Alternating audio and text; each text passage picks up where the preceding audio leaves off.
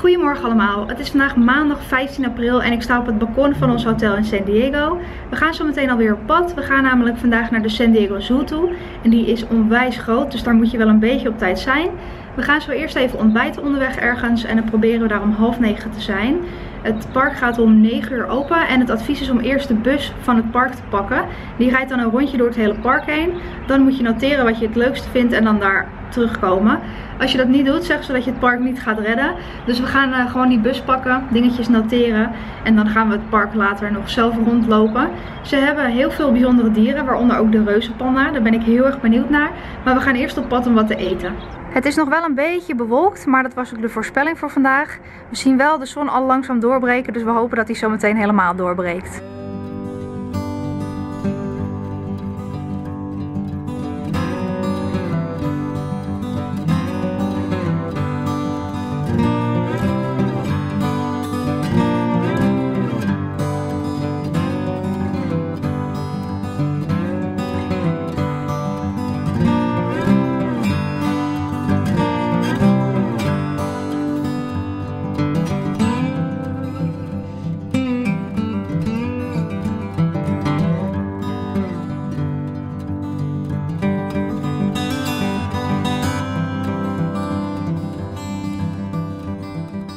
We zijn weer terug bij ons oude vertrouwde Burger King. We hebben de afgelopen week bij het hotel ontbeten. Maar nu zit er geen ontbijt bij het hotel, dus zijn we hier weer. Zo snel we de Burger King ingingen, zo snel gingen we de Burger King ook uit. We hebben ons ontbijt net meegenomen in plaats van dat we daar gaan zitten. Het stikte zo erg van de zwervers hier.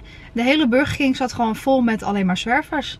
En het waren, normaal heb je er niet zo last van, maar dit waren ook wel echt zwervers die een beetje vervelend deden. Dus we gaan ons ontbijt in de auto eten en daarna gaan we naar de zoo toe. Zelfs het ontbijt was gewoon niet lekker.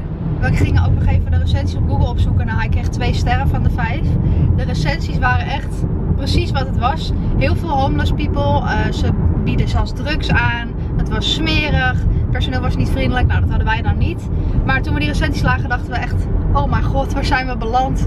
Dus we hebben het gewoon op deze manier even opgelost. Deze Burger zullen we ook niet meer bezoeken. En de reden dat wij ook altijd bij de Burger of de McDonald's eten is omdat het gewoon makkelijk is. Het is snel en het is goedkoop. Het ontbijt bij het hotel is vaak echt absurd duur. En wij willen vaak gewoon iets kleins eten en dan gewoon lekker meteen op pad gaan. We gaan nu een, hoe lang gaan we rijden? 7 minuten. En dan uh, zijn we al bij de dierentuin. 45 minuten voor openingstijd. En wij staan alweer klaar bij de ingang. Oh god. Dat is Fabian's idee hoor, niet die van mij. Het parkeerterrein is nog helemaal leeg. Tenminste vrijwel leeg. En wij staan geparkeerd bij de Reuzenpanda, nummer 2. Dit is even een onthouddingetje voor mezelf. Daar zijn we dan. Bij de ingang.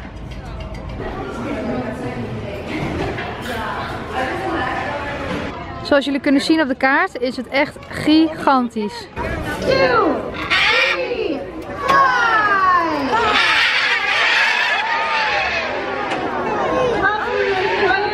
Het is gelukt, we zitten in de bus. Het was wel echt even rennen. Iedereen wilde natuurlijk in de bus zitten en vooral bovenin.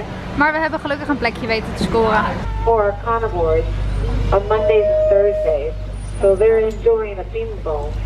Here's where you find our large birds of prey. We have an adult pair of Andean condor. The three of them do not remember the ice, the cold weather, or the snow. In the elephant exhibit, you'll see these concrete structures that look like trees. Two little brothers that arrived here when they were just babies, which was 11 years ago. They're called leopard sharks. And then when you come out, we hebben de bustour inmiddels gehad. Het was ongeveer 45 minuutjes. Daarmee ga je het hele park alvast door. We gaan alsnog gewoon het hele park doen, want het is echt een heel erg mooi en groot park. En je wil eigenlijk gewoon niks missen hier. Dus we gaan gewoon beginnen aan het rondje. Kijken hoe ver we komen.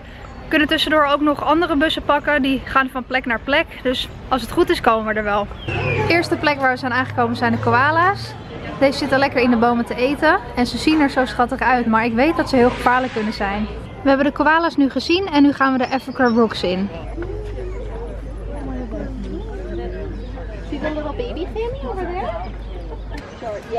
Wat zijn dit wat? Weet jij dat? Ik weet iets van steenbokken of zo. Oh ja, even berg, berggeiten. Berggeiten.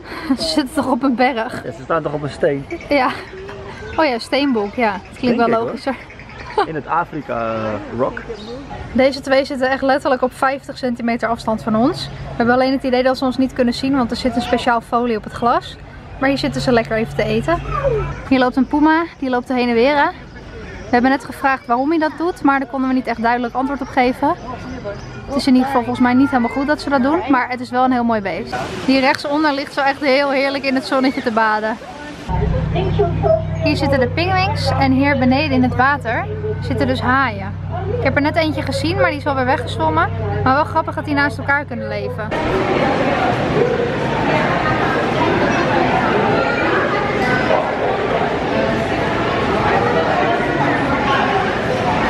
Nu gaan we Sunbear Forest in.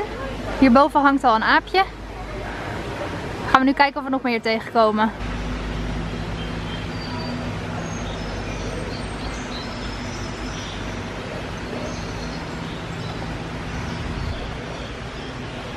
Nou, laat zien wat je kan. Doe een kunstje. Doe een kunstje. hij vloog net de hele kooi door. Ga ik filmen, stopt hij ermee. Hij heb je ook, denk ik. Nou zien we een beer. Hij is echt een mega bot aan het eten. En ze zijn gered uit Yellowstone Park. Wauw. Hij is zo dichtbij weer. Echt tof.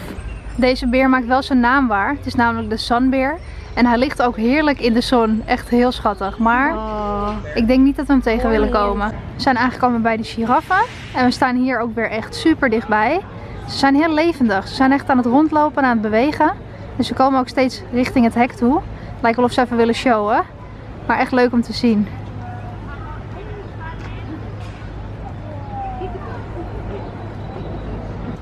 Alle dieren hier zijn wel echte zonaanbidders. Ze liggen allemaal lekker in de zon. Er is letterlijk geen één flamingo. Oh, ze worden wakker.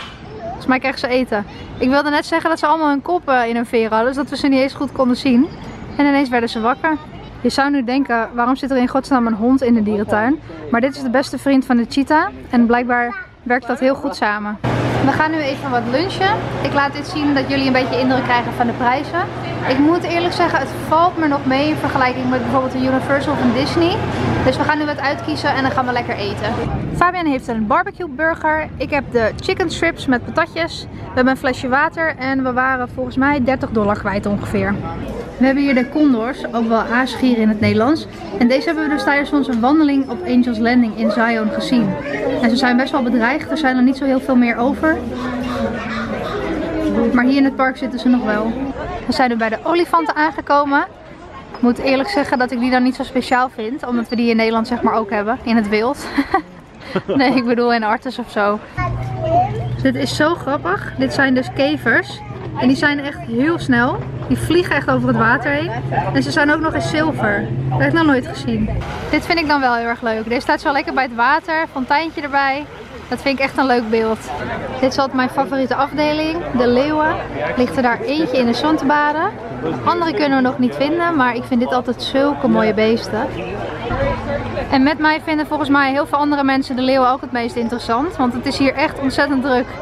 Om even te laten zien hoe druk het hier in dit park is. Hier beneden is de Panda Exhibit.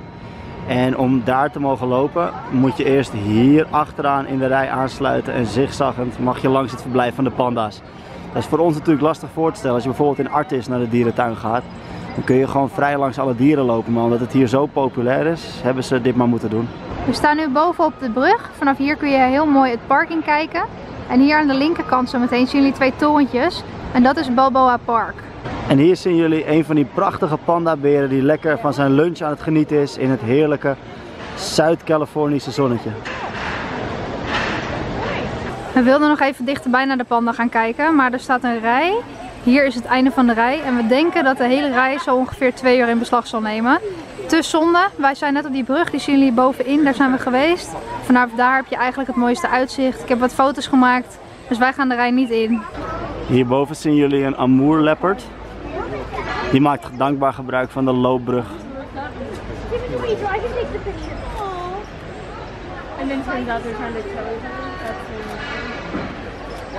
So Oh!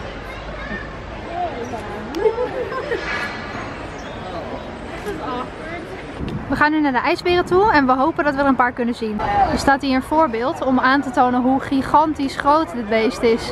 Je ziet die mensen erbij, zie je hoe groot hij eigenlijk is. Met ons nog 10 miljoen andere mensen die de polarberen willen zien.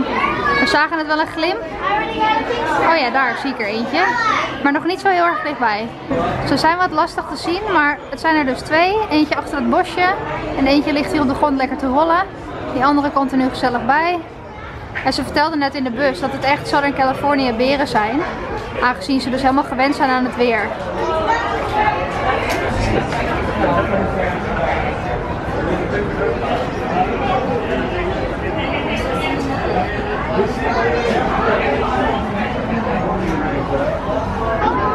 Zien jullie die vliegende bakjes? Daar gaan we zo in. Daarmee ga je het hele park door. En even een overzicht van hoe het er nu ongeveer uitziet hier. Het is echt onwijs druk. En die rij aan de linkerkant, die hebben wij net ontweken.